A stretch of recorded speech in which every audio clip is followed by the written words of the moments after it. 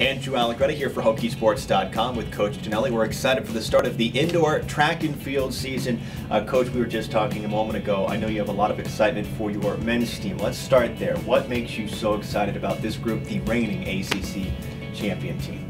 Uh, this men's team has the potential to be maybe the best that we've ever had. We have a, a great mixture of uh, some veterans returning um, but also some uh, some new guys that have come in that are at a high level, and and so I'm uh, very excited uh, to see what they can do, and uh, I think that as long as we can you know keep everybody healthy and, and, moving forward, it could really be a special year. To talk about a couple of names on that men's team. There's a whole list that we could go to, but so often it starts with Tommy Curtin, a guy that's coming back who's had so much success in so many different areas for you. What are you hoping for him?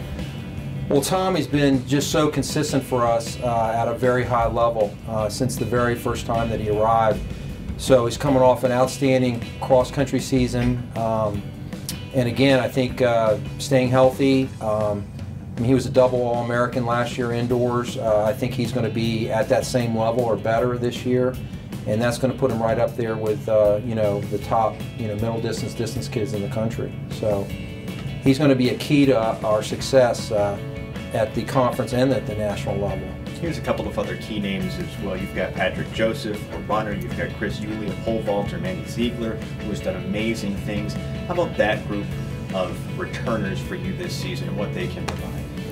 Well, you just mentioned some really high quality athletes uh, in that group, and um, so they're returning. Uh, Ziegler, this will be his uh, senior year, as it will be with with Tommy.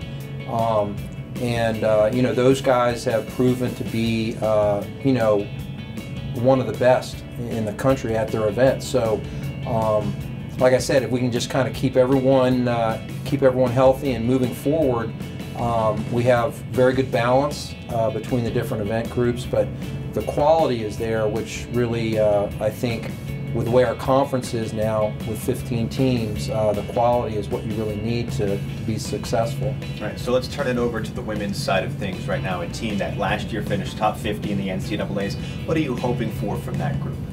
Well, that group is still very young. Um, we have uh, some outstanding returnees, uh, Hannah Green, um, which you know she'll be one of the top 800 meter runners uh, in the country, both indoors and outdoors, uh, this year.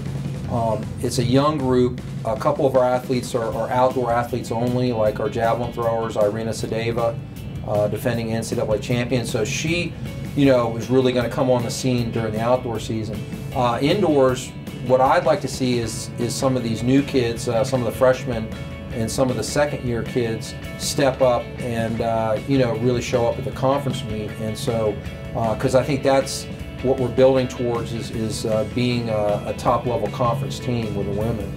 What are some key dates that fans should pay attention to? Uh, our elite meet, our home elite meet is probably uh, one of the best meets uh, in this area of the country. Uh, that's February 5th and 6th here, uh, here at Virginia Tech. And it's ACC and SEC teams. we have about 12 or 13 teams. And that's an outstanding meet. And that's three weeks before our conference meet. Um, and then our conference, obviously, uh, which is at the end of February, and that'll be in Boston this year. Coach Cianelli, the reigning ACC Indoor Coach of the Year. Thank you so much for your time. You're welcome.